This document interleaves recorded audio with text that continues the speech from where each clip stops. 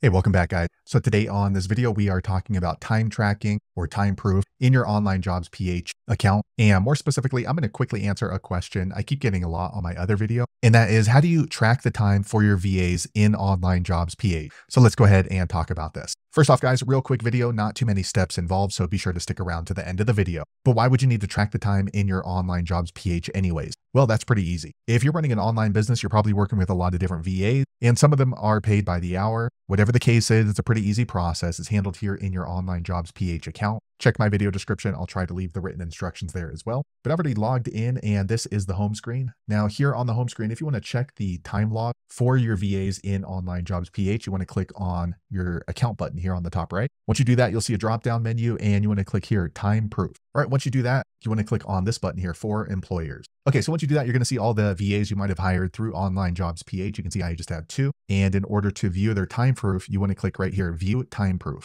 Okay, so once you do that, you're going to see all of the dates that that person had worked. You can see this person's been working since the first. So on this day, they worked four hours. This day, they worked under two hours and it's in blue. That's the daily for the blue. Now, if you wanted to see weekly, look for the green. So this entire week and the week spans from Sunday all the way up until Saturday. This person worked 17 hours and 11 minutes. Now, don't confuse this with 17.11 because that's not the same. This is actually closer to 17.25 hours. Now, if you want to see what type of work they were doing, you can click here on the day. Okay, once you click into the day, it's going to show you the timestamps. So this is a timestamp at 11:45, 11:35. So it's taken every 10 minutes. And if you want, you can click into the thumbnail and then you can see a little bit more detailed information. The screen's going to get a little bit bigger. So let me go back. Okay, and lastly, when you're on the time proof, you can see down here in red, that's the amount of hours that person has worked for the entire month. So if you're going to be paying bi-weekly or through the month, it just makes it a lot easier to tally up the time quickly. So there you have it, guys. If you're wondering how to check the working time for your VAs in Online Jobs PH, that's the easiest way I know how to do it. If you know an easier way, be sure to leave a comment below. Let the rest of us know how you did it. Hopefully you found that video useful. If so, click thumbs up or maybe consider subscribing to my channel and hope to see you on the next video.